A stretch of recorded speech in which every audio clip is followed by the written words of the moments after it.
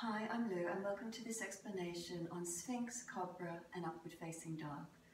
They're all a back bending posture, depending your degree of flexibility and mobility through the spine, the degree of which posture you're coming into. They tone the nerves of the spinal column, allowing more mobility and flexibility.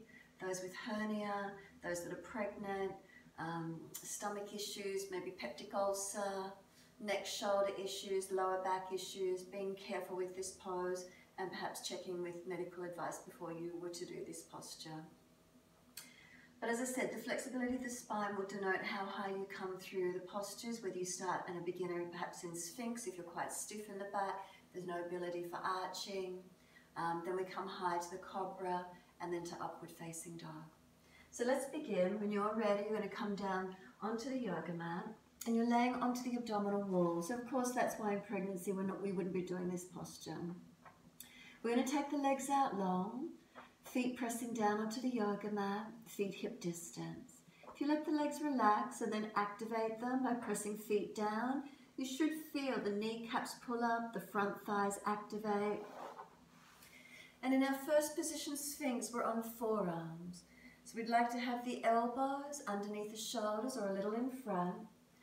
Now if this causes discomfort for your lower back immediately, you would take the arms out longer, further away. Depending where that mobility of curvature is for you, you could start out long, hands dragging back, chest projects long.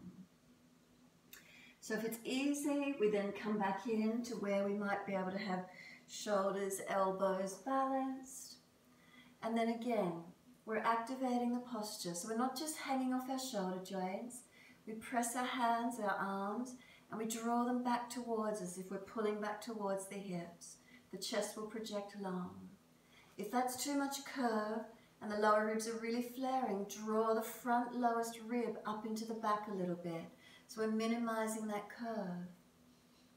Tuck the tailbone under a little bit, lengthening the lower back.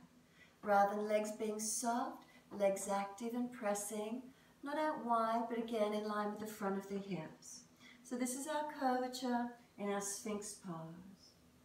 Again, head neutral, not crunching on the back of the neck, not hanging the head, but maintaining the curvature line from the rest of the spine, from tailbone all the way up, lengthening through into the curve. Now if you feel discomfort, pain, aggravation in the back, you would start to let the arms walk forward, slide way, whichever way they go comfortably for you. And then let the hands coming next to the chest. Press up onto the knees and take the buttocks all the way back to the heels in extended child. So the lower back is being elongated in this counter pose. You can take a few moments here, especially if you're not used to doing this posture, you may already have aggravation. The back might not be mobile enough, it starts to grab and become stiff. The other thing to think about when you're going through these curves is that you're not in a pivot point of the back. So instead of the back being a nice curve, which we're trying to achieve, the back will pivot if there's a weakness in one of those vertebra spots.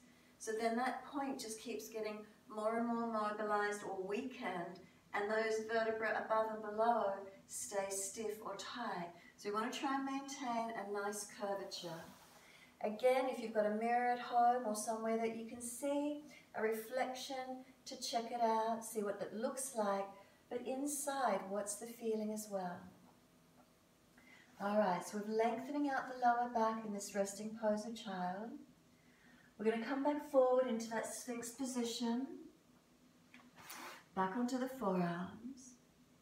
Switch on, so tops of feet press, legs engage, glutes activate. We're finding the curve that feels right for us. Again, maybe longer if you need. Maybe lower ribs up a little bit. Maybe tailbone tucked a little more. So then transitioning to Cobra. If you have the core strength, you can simply put a hand in beside, under the chest, or next to the shoulder, under the shoulder, second hand, and lift a little higher.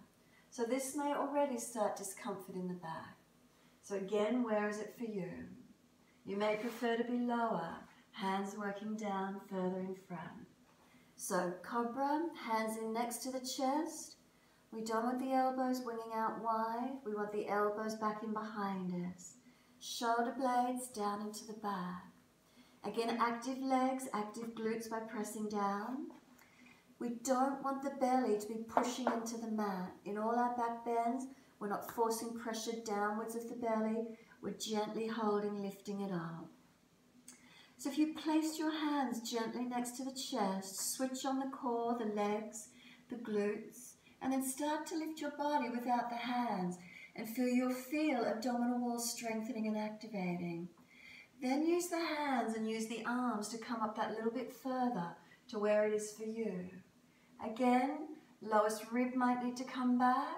In and up, tailbone might need to tuck a little bit more and feel where the opening comes through for you. If legs are sore, that are soft, there is a tendency that you will drop and compress in the lumbar spine. So we activate the legs, the glutes, the lower half of the body. So a snake, a cobra, when it comes up, it rears up. It's up on its tail. That's active, ready to strike. So for you, coming up, active, ready to hold the pose, not collapse. Shoulders not around ears, but down in the back, weighted, supported. Weighting hands evenly. If the elbows go wide, we have a tendency that the shoulder comes forward, impacting shoulder capsule, rather than the shoulder blade holding us. Also, elbows wide have a tendency for the wrist to fall away. We want to balance the wrist, protecting. Alignments back in line as much as we can. For those of you familiar with up dog from your cobra, simply engaging and lifting higher if you have the mobility. Pressing down, lifting up, and we lift up, legs active, glutes active, inner thighs active, arms really strong, chest projecting forward. We can take the drishti up, forward or down. Wherever your neck is comfortable, again, not jamming on the back of the neck. Couple more breaths. And when you're ready, simply come up onto the knees, take the buttocks back to the heels, and we're resting in child pose.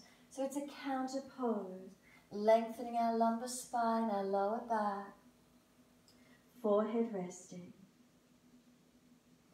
So stacked hands for the degree that you need to rest the forehead, buttocks to heels, arms beside the feet if it's easy.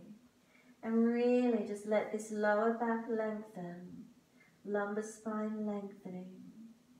Knees in close so there's this more rounded feeling through the back, counterposing the Sphinx, Cobra or upward facing dog.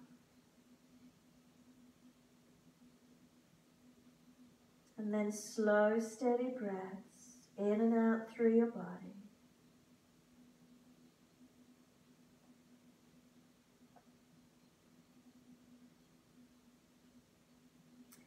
Exhaling, place the hands beside the knees if you need support. Press your shins down through the mat. Exhale fully. Inhale, we roll the back up, vertebra by vertebra, chin tucking in all the way. The head will come up last. Let the belly be soft and slow, deep breaths in and out.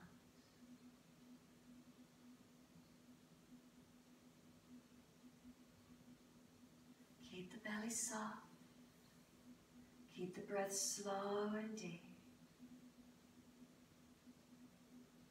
Now if you feel any discomfort in the lower back here, come back down into child pose or into another forward bend. You could come to a standing forward bend, coming up off the legs, holding into a forward fold, hanging down forward bend. Bend the legs, ribs on thighs. Easing out of that when you're ready, or you may need to do a little bit of abdominal core work, strengthening the core of the body to help also support that lower back.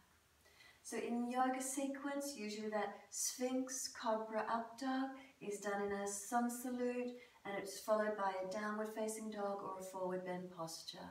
So please do counter poses and balancing the curvatures of the spine. Keep practicing the poses when you feel comfortable to do so. Remember not forcing the body, but being gentle and feeling the mobility. Feel when it's ready to open and allowing you to go higher rather than trying to aggressively force yourself into it.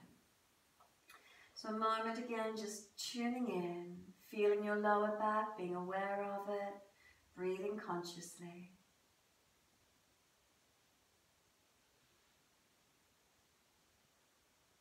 Inhale, let the arms sweep wide and up. Touch the hands together and bring them to the forehead. As we move through life, we move through life with thoughtfulness. Touch the hands to the lips. As we move through life, we have kind words. And bring the hands to the heart. As we move through life, we have compassion and we have kindness. Namaste.